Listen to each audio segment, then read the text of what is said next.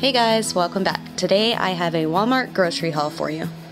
Our total came in right around $100, and this is going to cover our dinners for a week and then some, and there's also some lunch items and things like that.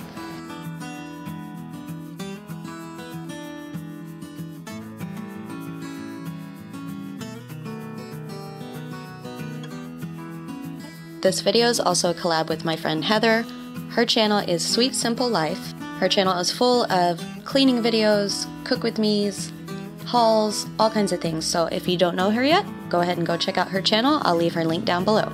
So I'm to go ahead and show you all of the cold items so I can get them put away. We got a package of chicken breasts and we already had some in the freezer, so this is to last us a long time. We also got two pounds of 90-10 ground beef and some thick sliced bacon. We also got this English roast, and we're going to be able to cut this up and make it last for two meals. We also got some pork carnita meat, and we use this all the time. It turns out really tender and delicious.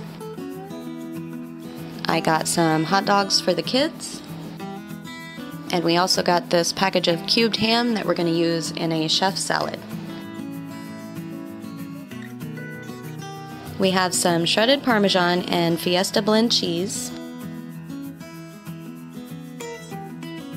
We grabbed these pizza Lunchables for the kids. They're the Walmart brand, and they're wanting to eat them right now because we got home right around lunchtime and they're hungry. We also got some of these crinkle cut fries. This brand is my favorite brand of french fries. They turn out so crispy and so good. I think they're the only ones I'll buy anymore. And the cold stuff is put away and the kids are enjoying their Lunchables, so we're going to move on to the rest.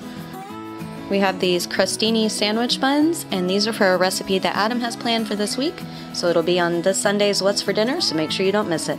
We got these white cheddar cheese puffs for the kids' lunches, and some garden salsa sun chips to go with the dinner we have planned.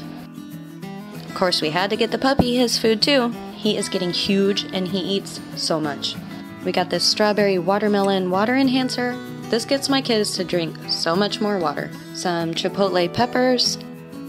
We've got some peanut butter, some black olives. We got a jar of this salsa the other day because it was on sale and it was so good. It has pinto beans and Lone Star beer, which sounds odd, but it is really so delicious. So I went ahead and picked up another jar.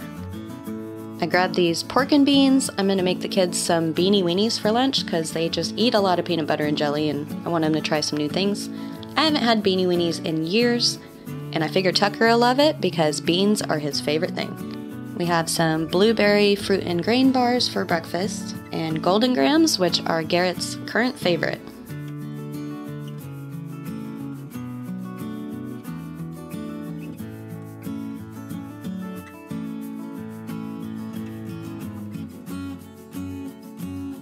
Okay, so moving on to produce, we have some bananas, this big bag of Roma tomatoes. We got baby carrots for the kids for lunches and some regular carrots to cook for dinners. We also got some green leaf lettuce. Is anyone else still hesitant to buy romaine because I just can't do it? We have some red seedless grapes, some russet potatoes, a sweet onion, and a big bunch of radishes. I'm going to put those in that chef salad I mentioned. And we also got a case of water. We go through this so fast.